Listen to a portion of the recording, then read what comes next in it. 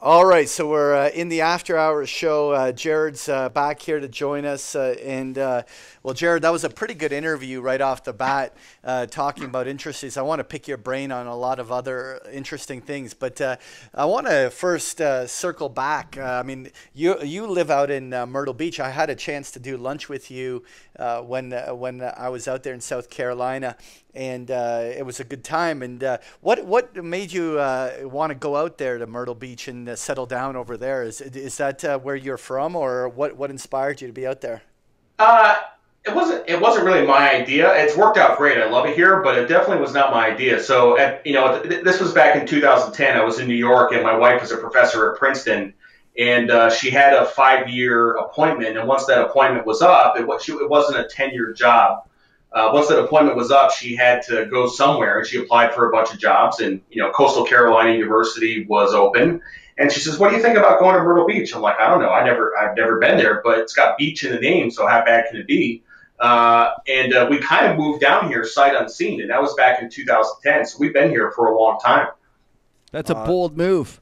I actually yeah. saw you tweet the other day that said something. As long as you don't have, uh, you're not overly sensitive on, and you're not going to have a kind of a conniption, a conniption at every single Trump sticker. You're going to have a great time here. Yeah, that was a funny tweet. Yeah, the funny thing, and that's absolutely true. Like the funny thing, I mean, this is a red state, although it's not a super red state. It's not Alabama. It's not Mississippi. Uh, you know, a lot of people, if, if you don't understand the South, like there's different areas of the South, and the Carolinas are not quite as conservative. But still, like you know, if you're, you know, if you're somebody from Connecticut, and every time you see a Trump sticker, you you just have a seizure. Like it, it, you're just like you're not going to be able to function on here. If you can just sort of tune that stuff out, and you know, then this is really like it's it's super cheap. The weather is awesome. It's sunny a lot. The worst time of year is actually the summer. The summer it's like really humid, so it's not that pleasant. But like you know, spring, winter, fall is really great. Um, you know, I love it.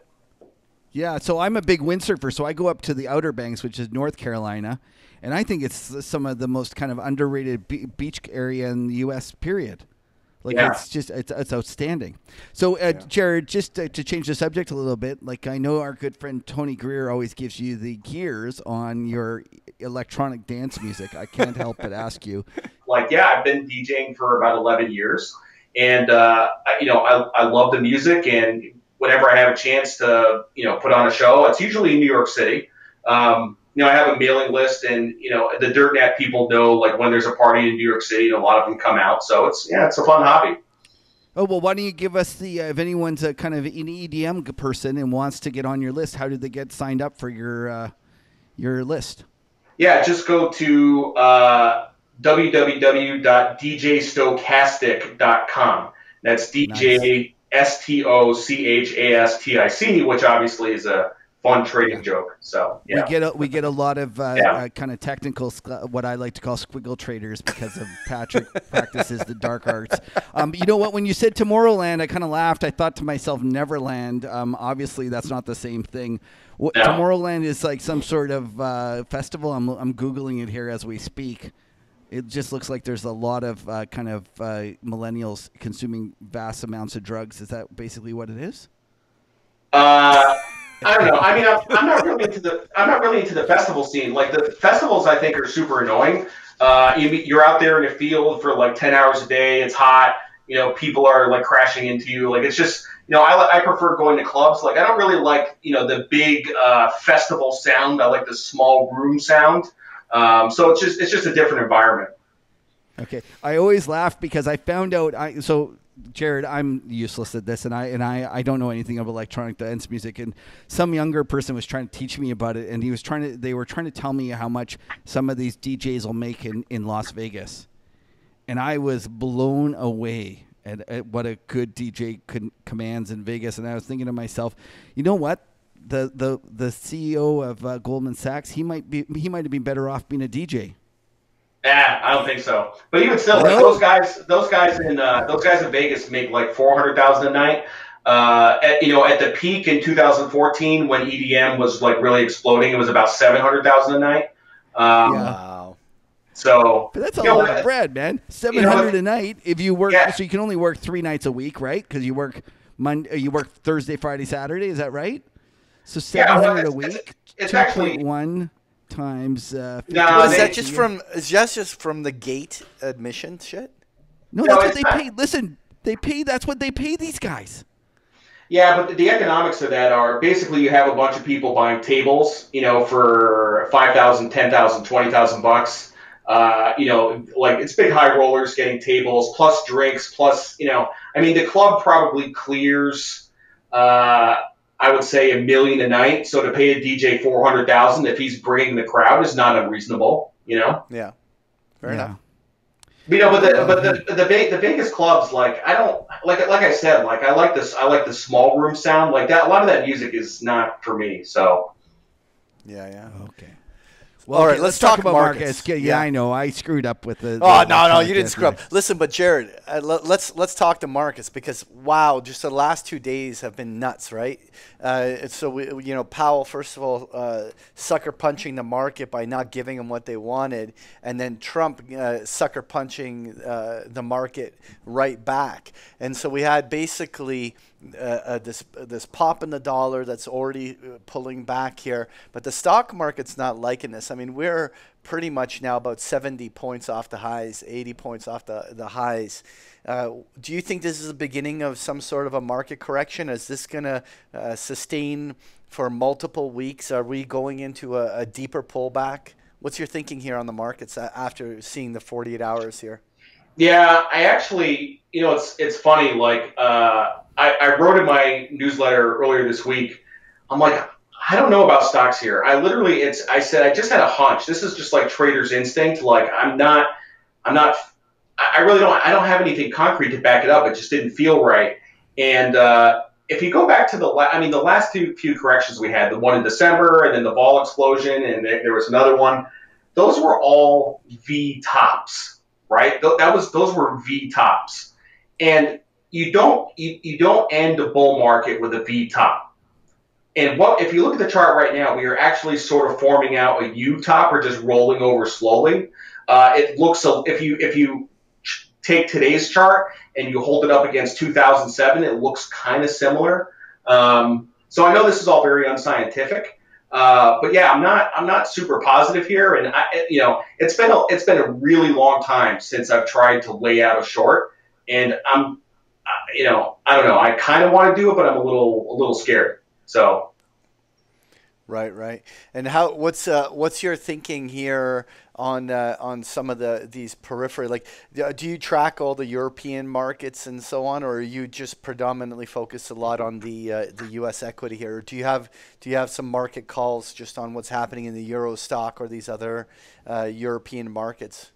Uh, not so much, um, not so much continental Europe, but I've been focusing a lot on the UK and Brexit lately, and I seem to have a very out of consensus opinion that uh, Really?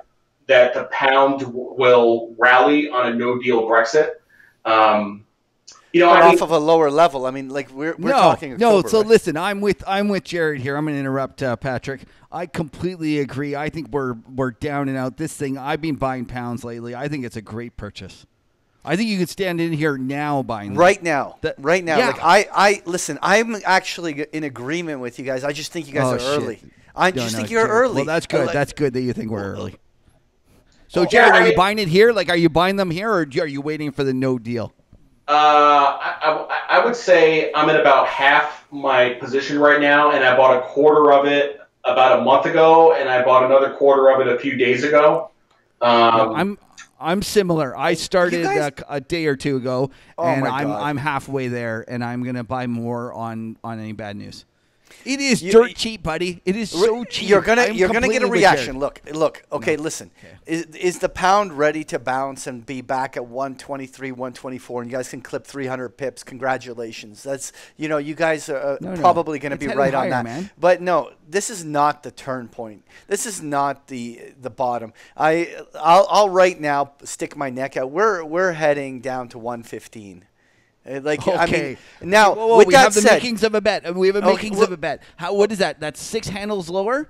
So I say it. I say it hits 128 before or 127 before 115. You're done.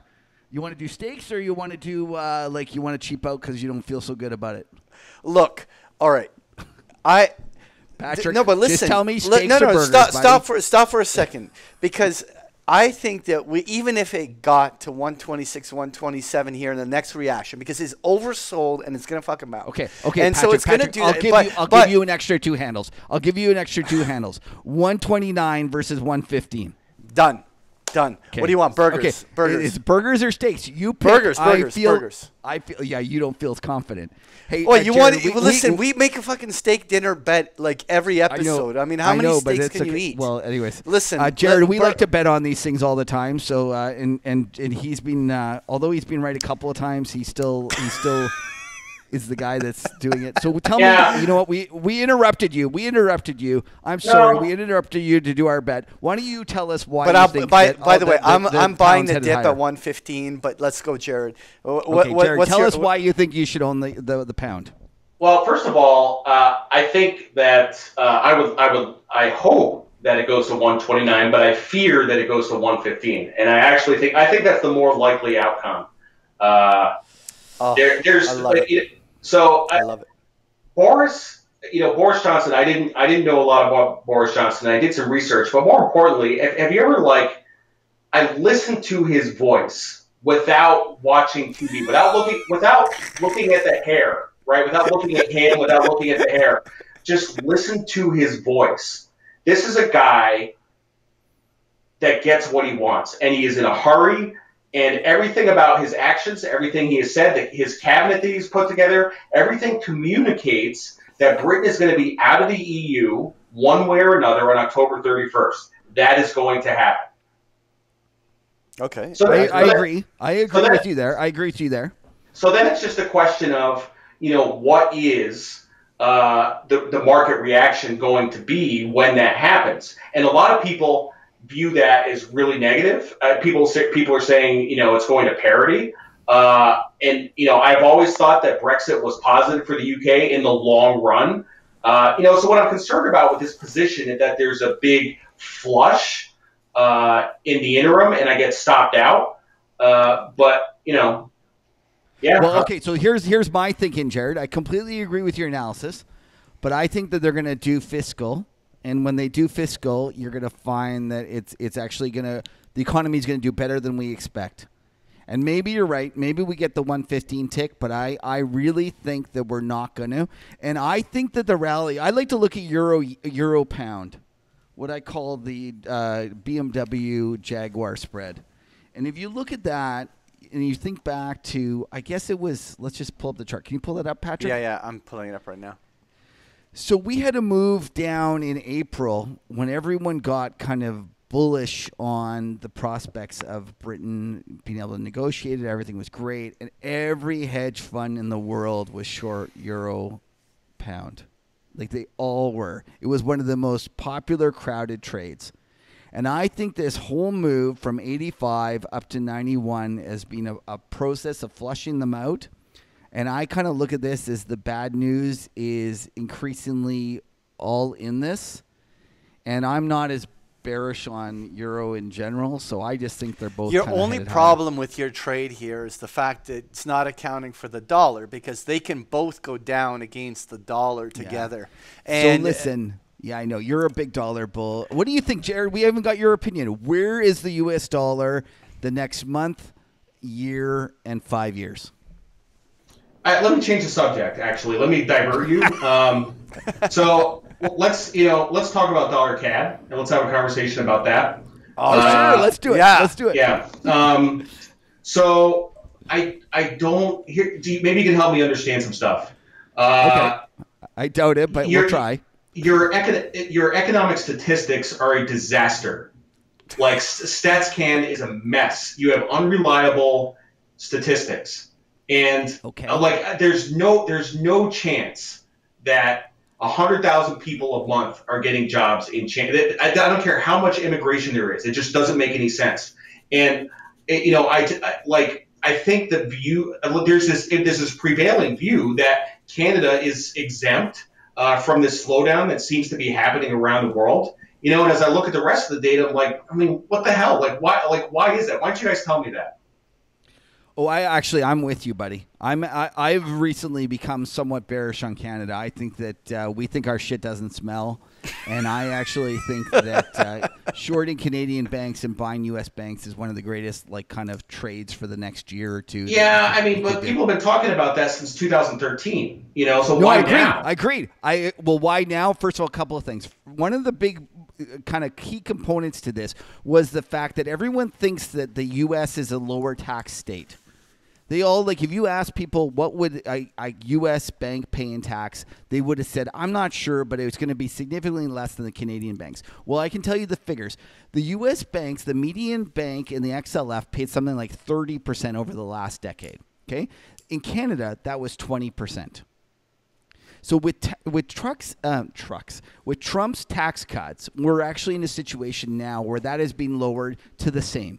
So now no longer are we having kind of the the the situation where we have a tax benefit. So that's part of the reason we've done better. Okay. The other reason is the fact is that we've had um, our consumer has been expanding credit for the past let's say 20 years because the reality is that we didn't have the pause in 08 like you did. So we have been uh, the banks have had a tailwind of a consumer that's getting more credit cards, getting more houses, all this shit. Like it's just basically one thing after another. It's all worked out well. So we've had a better tax rate, we've had a consumer that's been expanding, everything's been great. Now, what's changed? We have finally hit the point where we cannot put any more debt on it. And although you know, like we can, we can, like I'm not a big one to say like, uh, um, I'm not a debt alarmist. I do believe that on the private sector there are limits, and I do believe that Canada's hit it. And at the same time, I think when you look at the U.S., I think that the millennials there have been reluctant because of what they've seen happen to their folks during the 08 crash to put any sort of debt on. So I just think Trump is going to go and he's going to figure out a way to get the housing going there. And it's going to be a tailwind for the U.S. bank. And the Canada is not going to shit the bed in terms of like, you know, have the same sort of catalytic, too many beers, uh, contraction that the U.S. had. But the reality is that we're going to suffer and we're going to underperform you guys for the next kind of five years easy. That's what I Yeah. I mean it, that would that would make me happy, but like in the in the short term, I mean we have the possibility that the Fed is going to cut 100 basis points plus, and Poloz doesn't look like he wants to cut at all. Yeah, but that's only going to be bad for our economy over the long run. I mean, do you think he's forced to cut? Um, okay, Yeah. so here's a little tidbit I have. Uh, I'll tell you. They think um, that they really do believe the Bank of Canada really believes that our shit doesn't smell.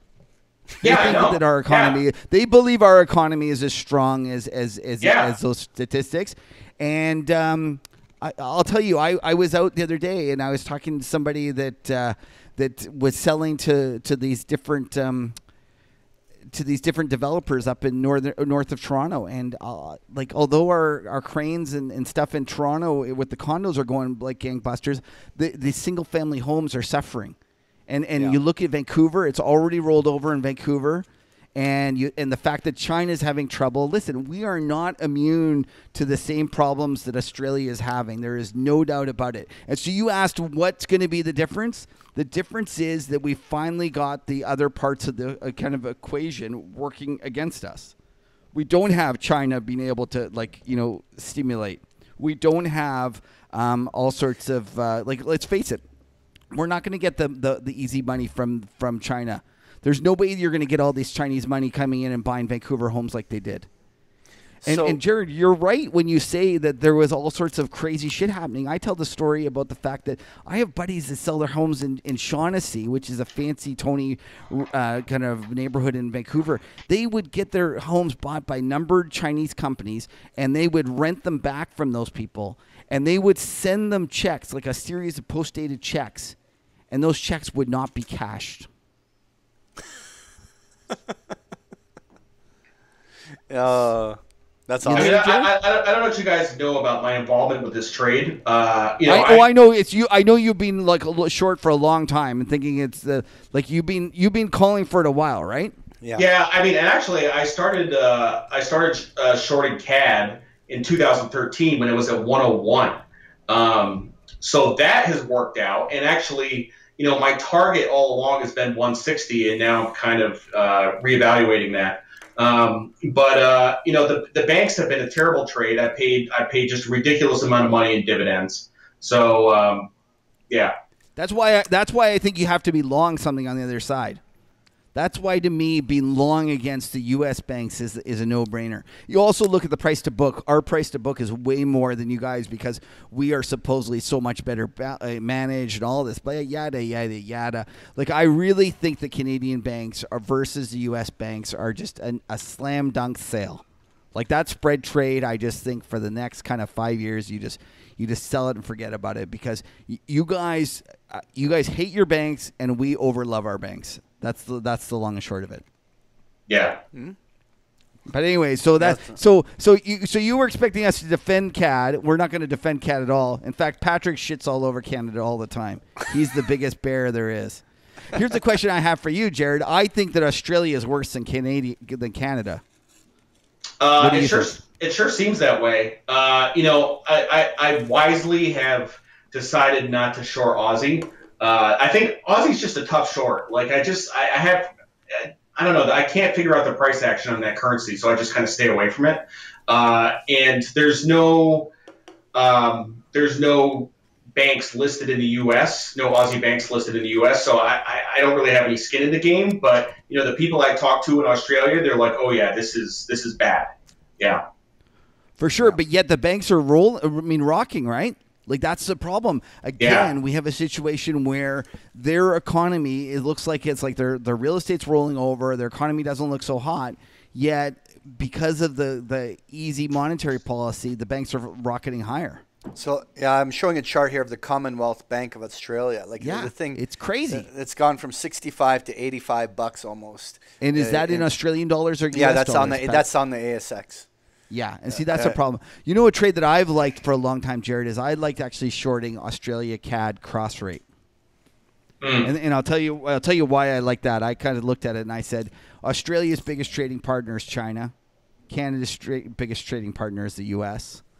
You get rid of all the U.S. dollar kind of you know currency reserve shit, and they're both commodity trades, and like you just kind of think to yourself, to me, it's basically saying the Ch- U.S. is going to beat China, and that's how I've looked at that trade. And so far, it's worked. Yeah, I've got. It's been great. I mean, it went from like 98 down to like 89. Yeah. Uh, you still so you still have it on? I still have it on. I'm trying wow. not to look at it. Try not to look at it. What else do you like, Jared? What other trades you got for us? Uh, I'm actually I'm gonna I'm gonna wrap up here pretty soon. Uh, you know what I'm gonna do? I'm gonna go home and get a cigar, um, which which is which is like my new hobby. Like actually, your new hobby. You gotta leave yeah. us with one idea. One idea before you leave. Uh, well, I don't know. I I kind of gave you guys a bunch of them. Uh, me... no more. That's it. You're done. All right, fair enough. We're cut off. I mean, I, mean, I mean, really, like I, I, you know, I think my best idea is this, is the steepener. Um, you know, I, one one way or another, either Trump is going to get rid of Powell, or, or he will get his message across, or the Fed will just figure it out as an institution, and uh, they they will cut rates more aggressively. Um, okay, so what part of the curve do you play? I do twos tens. Yeah. Yeah, you like twos tens. Yeah. Okay, I'm with you. So are like you you're not shaken out of uh, with this last little move? You still think it's a good level to put it on? Yeah, I do. It's you know, I mean, it's just hard. It's hard for twos tens to go negative with absolute rates in the one handle. That's just hard to do. I might go negative. Uh, if it goes negative, I might uh, you know I might put on more. Um, you know, I mean, ultimately the curve. I, this is a trade I'm not really worried. I don't lose sleep over. Like I have a lot of confidence in this trade, so I think the curve should steepen. Having said that, it's a bit crowded. It is a bit crowded. Uh, there's a lot of people in this trade, so. I agree. I agree, and it's a, it's a problem. And and I saw the other day. I'm with you, Jared, which is bad luck for you because I you know things aren't going well these days for me. With that, I'm a little bit of a bond bear. But anyways, Jared, it's been a pleasure chatting with you. Thank you for your time. Um, why don't you just give people one last time where they can contact you, where they can find your your daily dirt nap, and uh, give everyone kind of the, your your coordinates before we wrap up. Yeah, please uh, check out the newsletter, www.dailydirtnap.com, and you can follow me on Twitter at uh, at Daily Dirt Nap, although sometimes I, I'm a miserable bastard on Twitter. So just fair warning. Okay, go have your cigar. It was a pleasure chatting with you. Thanks a lot, Jared. It was been a pleasure talking. Thanks, Thanks. Jared.